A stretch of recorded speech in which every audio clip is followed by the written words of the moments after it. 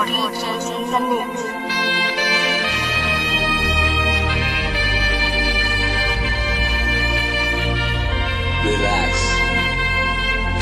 Your time. Here's my key. Philosophy. A freak like me just needs infinity.